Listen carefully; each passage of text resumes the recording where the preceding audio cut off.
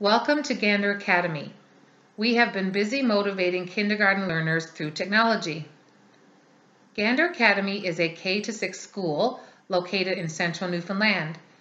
At Gander Academy, we are dedicated to providing an inclusive and nurturing environment which enhances student achievement and encourages an active and healthy lifestyle in a safe and collaborative school community. Gander Academy has a current population of 926 students. Students are offered an opportunity to study in the English or French immersion stream. Gander Academy has a total of 62 full-time and two part-time educational staff, which includes classroom teachers and instructional resource teachers. We also have nine student assistants. Of course, we cannot forget our principal and two vice principals who are exceptional leaders in our school. Gander Academy services the town of Gander and its neighboring community of Benton. It is amazing to think that 10% of the town's population are enrolled in our school. With 16 years experience, Dina Healey has been teaching at Gander Academy for the past five years. This is her second year teaching kindergarten at Gander Academy with two kindergarten classes of 18 children in each, with a total of 14 girls and 22 boys. Also with 16 years experience, Lee Anne Johnson has been teaching at Gander Academy for six years. Lee Anne has a passion for teaching early learners and most of her teaching experience has been teaching kindergarten. This year, Lee Anne has two kindergarten classes with 18 children in each with a total of 19 boys and 17 girls.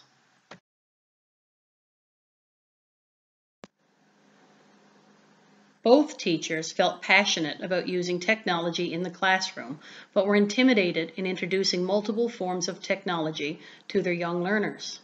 Both teachers had included in their professional growth plans that they wanted to use technology with their early learners in meaningful and curriculum connected ways. They were excited about this STEM project because they thought it would motivate them to step outside their comfort zone as teachers. In the end, they hoped they could become better teachers and at the same time, they would inspire their children to investigate, explore, and ultimately learn by using technology. Initially, we wanted to engage children in math experiences through use of technology, more specifically, Mathletics, which is an online math program that matches the Newfoundland kindergarten curriculum outcomes. As our project evolved, we began to explore other resources such as RazKids, ABCYA, various apps, and more. Our research questions came from our collective experiences teaching early learners. We felt that our students' experience with math were very limited. We wanted to provide an enriching environment where children were able to direct their own learning using digital technology in math. From this, our student question evolved. How do we use technology in the classroom to enhance student engagement in mathematics? Considering this, we began to ask ourselves, what is our role in a technology-based kindergarten classroom? What is Mathletics and how do we use it? How does Mathletics support in-class activities? How do we use technology-based instruction to inform our teaching? Originally, our focus was limited to technology and math with a specific focus on the use of Mathletics. As children's technological confidence and enthusiasm for technology grew, we began to introduce other digital resources such as RazKids, ABCYA, Tumblebooks, Quiver, and more. This, in turn, eventually saw children exploring apps independently and being guided by self-discovery. How did you let the check? Go. I'm flying. Okay, no. Connor, how did you get that? I didn't give it a flying thing. I got this And I didn't.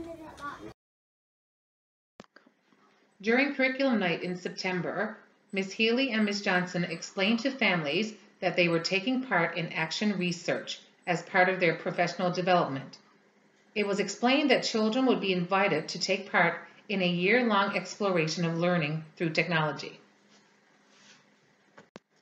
After curriculum night, consent forms were sent home to families offering them the opportunity for their child to participate in this project. All families returned their forms and the majority gave consent. All children were participants in our research activities since all activities were part of our curriculum delivery. However, data was only collected from those whom consent was obtained. Midway through our project, we were invited to speak at a general staff meeting to promote Teachers in Action and to celebrate our own research to date. We were keen to make ourselves available to any colleague who had questions about pursuing a project of their own. As children became confident in the programs we had introduced, we sent home usernames and passwords, inviting families to explore these programs with their children at home. An information letter was sent home as well, explaining to families the benefits of the programs and how to use them. It wasn't long before families were writing notes in their child's agenda saying how much their child was enjoying these programs. This positive feedback was exciting news to receive.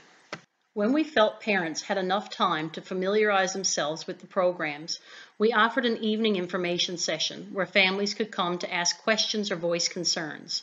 This session acted as both a mini tutorial for families as well as a time for us to discuss the Teachers in Action project once again and to share our classroom experiences and research findings to date. In preparation for our project, we attended a Teacher in Action Institute at Memorial University in August. Over the course of the next nine months, we took part in planning days at the school level, taking approximately one day each month. Each of these days were used to reflect on what had been accomplished to date and how we intended to move forward.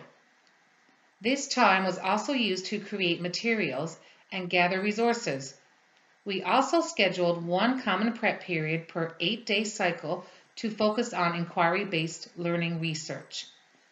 These periods provided opportunities to discuss our daily teaching practices in context to our research. Mr. Tom Walsh the TIA program facilitator, joined us for two of our planning sessions. Mr. Walsh also visited our school on another occasion to observe our research in action, as well as to engage children in science-based inquiry activities. Initially, we conducted student survey interviews to determine the children's understanding of and attitudes in technology, math, and reading. Post-survey interviews were also conducted to determine growth in the same.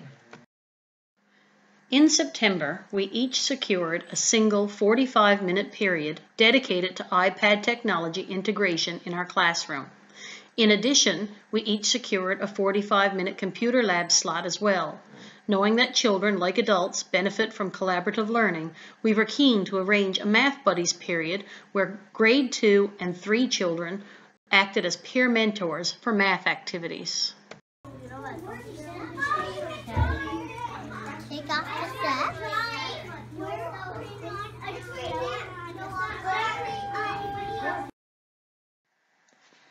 implementation of our project was scaffolded in that children had to first become competent in using technology. Using our Apple TV and team boards, we spent a great deal of time demonstrating how to log in and access the ABCYA website. We wanted them to become familiar with a single child-friendly website before introducing additional resources. We used the team board to interact as a whole class with the ABCYA website. The children enjoyed this website very much and quickly became motivated to access it on their own. When we initially brought the children to the computer lab, it took an entire 45 minute period to log in. By the time everyone had logged in, it was time for everyone to log out. With continued practice and exposure, along with the help of our math buddies, it was no time before all children could log in effortlessly. Later, we began to introduce both Raz Kids and Mathletics as whole class learning experiences. During this time, children learned to navigate through each program. children became increasingly motivated to learn about each program. It wasn't long before every child had a username and password and began to independently explore these resources, both in the computer lab and on iPad. While it was obvious that children were motivated in both learning environments, it appeared that children gravitated toward iPads as they were more familiar. This was most likely because many children have iPads, tablets, and handheld devices at home.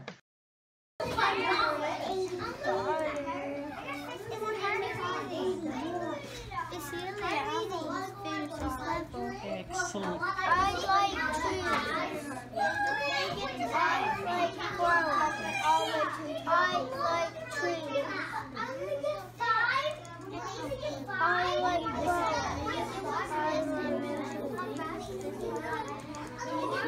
Now,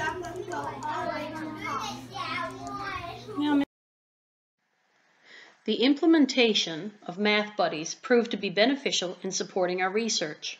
Our Math Buddies were young leaders that helped our kindergartners not only learn to use technology, but to interact with it. Math Buddies could often be heard asking questions to kindergartners, challenging them to think critically. This research eventually became the catalyst for children becoming curious to explore other apps and programs. As one child put it, Miss, I love searching things up, especially games about Star Wars. Mine's really, really. Look at mine. Mine's really cool. He, he doesn't like it. Our data collection was predominantly based on observations over a nine-month period. The student survey was administered twice. We wanted to know what children knew about math, reading, and technology, and what they enjoyed the most and least about each. We wanted to determine children's pre-existing knowledge of these concepts and how they might grow over time. We found that with increased exposure and exploration of each domain, children broaden their understanding of what math, reading, and technology are. In addition, we learned that the more children engaged with technology, the better equipped they are to articulate their interests and struggles. As part of our research, we also conducted surveys which addressed the following questions. Where do you enjoy using technology the most? How do you feel about technology? How does math make you feel? And what programs do you like best out of RazKids, Mathletics, and ABCYA? We were hoping to gauge students' attitudes about math and technology over the course of time. When asked, where do you enjoy using technology the most, we found that at the beginning of the school year, children's technology experiences were predominantly at home. As the school year progressed, with increased exposure to various forms of technology within the school, children identified with technology experiences both at home and at school. When asked, how do you feel about using technology? We concluded that although most have always felt positive about technology, there were more children who enjoyed using technology in the spring. This might be due to the fact that children have an increased sense of self-awareness and are more confident in expressing themselves. Additionally, due to their strengthened skill set, they have overcome struggles such as logging in and manipulation of a mouse, etc. When presented with the question of how does math make you feel? We came to the understanding that children have always felt positive about math. However, through observation, we think that the decrease in numbers is attributed to a greater understanding of what math is, as well as development in self-confidence, awareness, and expression. Finally, when asked to determine which programs they liked best out of RazKids, Mathletics, and ABCYA, we came to conclude that in the fall, most children expressed interest in ABCYA. A contributing factor would be that Mathletics was not introduced until second term. RazKids was introduced as a whole class program initially, later progressing to individual accounts. With exposure to all programs over the course of time, coupled with increased confidence, children found it hard to choose which program they liked most. While many enjoy the experience of building avatars in Mathletics and RazKids, Many expressed enjoyment of free choice and multiple learning opportunities in ABCYA. Throughout the course of this research, we spent a great deal of time becoming familiar with the various forms of technology that we intended for children to explore. Time was spent researching the Mathletics and Raz Kids programs to ensure we understood all that the programs could offer the children. We found online tutorials that were shared with parents so they could better support their child's learning at home. We made direct contact with the Mathletics company whenever we had questions about the program. We offered the company feedback, such as developing child-friendly usernames and passwords. We met for one period per cycle to learn more about the technology we were interacting with. The Raz Kids and Mathletics programs provided us with a spreadsheet of information for each child which then could be used to determine which outcomes children had achieved and which outcomes needed to be worked on. The Mathletics program allowed us to create individualized programs for each child. The Raz Kids program was tiered and self-directed. As children successfully completed one level, they advanced to the next. Both programs provided children with immediate feedback as well as tutorials when errors were made. Feedback was read to the children, which was an important factor considering the reading ability at this age. I'm on level A. See? I want to go on athletics, but it's not letting me.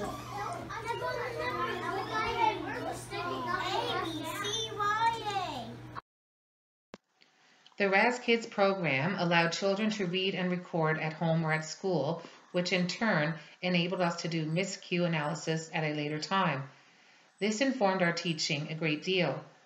Other programs we used, such as Little Writer and ABCYA, were great assessment tools as we were able to observe or print children's writing samples.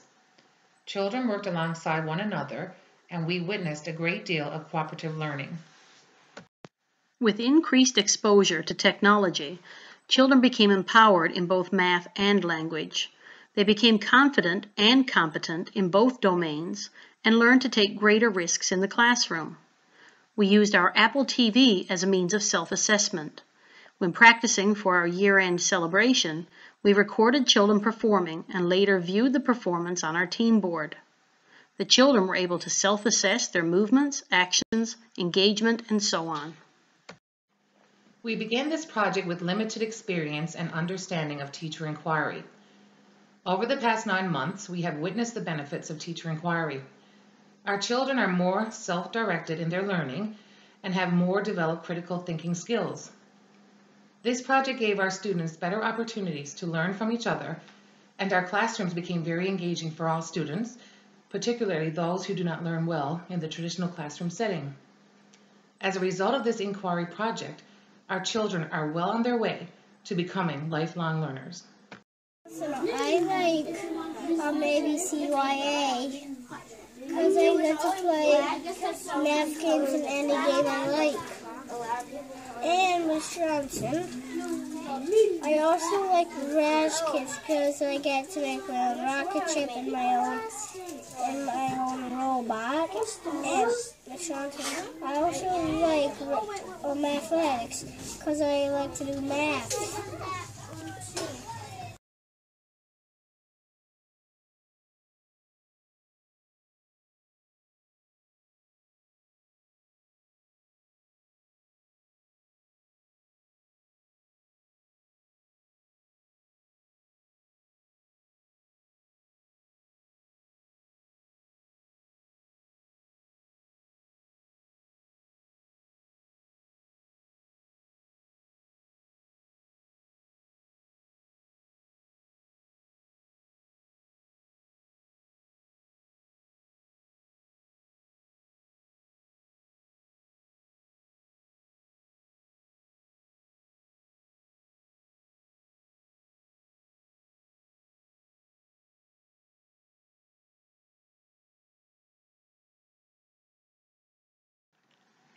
Because of the STEM Teachers in Action project, We became empowered to be active learners ourselves and to learn more about technology and how to use it to enhance the learning experiences of children in our classrooms.